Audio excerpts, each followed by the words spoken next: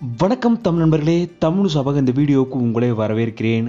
ஒரு முக்கியமான சீரியல்லேருந்து சீரியல் நடிகை ஒருத்தங்க விலகியிருக்காங்க. அவங்களுக்கு பதிலாக வேற ஒருத்தங்க மாற்றப்பட்டிருக்காங்க. யார் விலகனா யார் மாற்றப்பட்டிருக்காங்கன்ற செய்தியை இந்த வீடியோவில் பார்க்கலாம் வாங்க. விஜய் டிவியில் மதியம் இரண்டு முப்பது மணிக்கு ஒளிபரப்பாகிற சீரியல் தான் பொன்னி சீரியல்.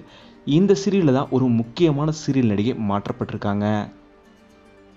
பொன்னி சீரியலில் லீட் ஹீரோவாக நடிக்கிற சக்தி அவங்களோட அம்மா கதாபாத்திரத்தில் ஜெயலட்சுமின்ற கதாபாத்திரத்தில் நடிச்சிட்டு வந்தவங்க தான் இந்துஜா அவங்க. இந்துஜா அவங்க இப்போது ஜெயலட்சுமி கதாபாத்திரத்திலிருந்து விலகிட்டாங்க. அவங்க இந்த சீரியலை விட்டு விலகினதுக்கான காரணம் எதுவும் அஃபீஷியலாக தெரிவிக்கல. இந்த நிலையில் ஜெயலட்சுமி கதாபாத்திரத்தில் யார் நடிக்க போகிறாங்கன்ற ஒரு கேள்வி எழுந்த நிலையில் இப்போது ஜெயலட்சுமி கதாபாத்திரத்தில் ரெஹானா அவங்க நடிக்கிறாங்க.